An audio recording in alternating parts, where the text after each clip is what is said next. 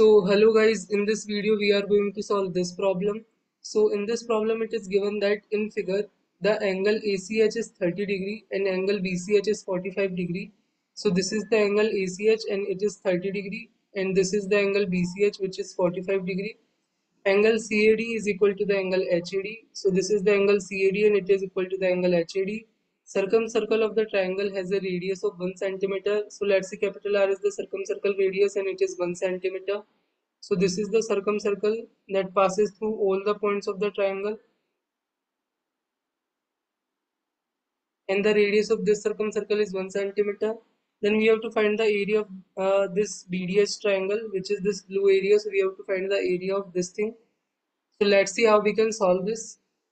So you see this figure in this figure let's consider bh is equal to x. So let's consider this is equal to x. Then in the problem it is given that this angle ACH is 30 degree. So this angle is 30 degree given in the problem. Angle BCH is 45 so this angle is 45 we know this angle CHB is 90 degree. We know this angle is 90 degree. Angle uh, CBH is uh, uh, 45 because this angle is 90 degree and the angle BCH is also 45 so this angle will be 45 because in the uh, right angle triangle sum of all three angles are 180 so if this is 90 and this is given in the problem as 45 so the remaining angle is 45 so this angle CBH is 45 so from here we can say that this CBH is an isosceles triangle because this angle and this angle are same. So this side is x so this side is also x so this angle C, uh, C uh, uh, so this triangle CBH is an isosceles triangle. So if this is x, this is also x. And this angle is 45, so this angle is also 45. So now we know these things. So let's proceed further.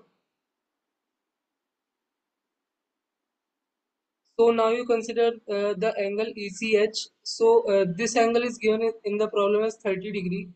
So uh, this is AH and this side we know as X. So we can write tan 30 as AH divided by CH AH value we can calculate as CH multiplied by tan 30 CH we calculated uh, as equal to X and tan 30 is 1 by root 3 so this is uh, X by root 3 so AH value will come as X by root 3 so now we know this AH value as X by root 3 and uh, now you see this angle is 90 degree. This angle we calculated as 45 this is 30 and this is 45 so what is this whole angle? This whole angle is 75 so if this is 75 this is 45 this whole angle is 60 degree.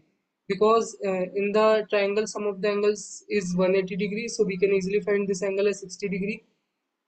Because this angle C is 75 and this is 45 so this is 60 degree we can easily find out now in the problem you see it is also given that this angle CAD is equal to the angle HAD. So this angle is equal to this angle. So now we know uh, the whole angle is 60 degree. So this whole angle is 60 degree we know.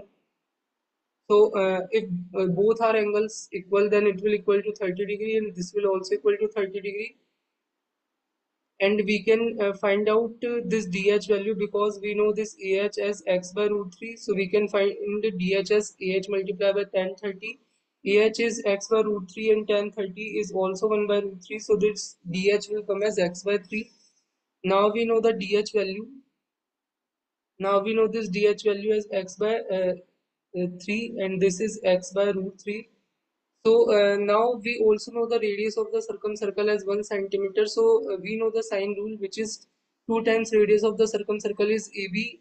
AB is this C, uh, side and the opposite angle is C. So sine of angle C. BC, BC is this side and opposite angle is this A. So sine of angle A and CA divided by sine of angle B. CA is this side and opposite angle is this B.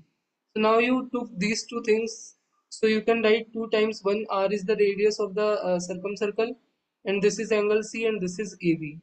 So now we can write AB as this AH plus HB. AH value is x by root 3 and this value is x. So the it will become like x plus x by root 3 which is root 3 plus 1 by root 3 divided by x. So this is the AB value.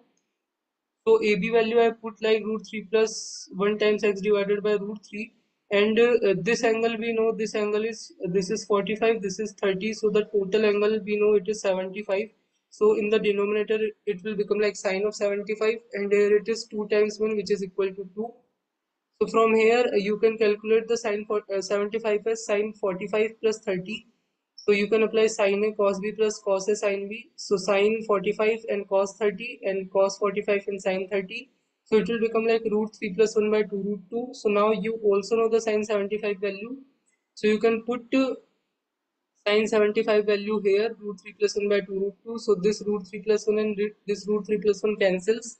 This 2 rows this 2 row, uh, root 2 will go to upper side and here it is x and here it is root 3 and here it is 2 so uh, this 2 and 2 cancel and x value will come as root 3 by root 2 so you can uh, apply uh, by uh, root 2 in the numerator and denominator. So this will uh, become as root 6 and in the denominator we have 2. So this is the value of x. Now we know the value of x, we can calculate the area of the triangle is half times this uh, dh multiplied by this bh. bh we know has a value of x and dh we know has a value of x by 3. Just we calculated previously. So this is x by 3 times x which is x square by 6. x we calculated as root 6 by 2. So it will become like 6 divided by 4 multiplied by 6. So this 6 and 6 cancel and uh, the triangle area will come as 1 by 4 centimeter square. So in this way we can find out the area of the triangle.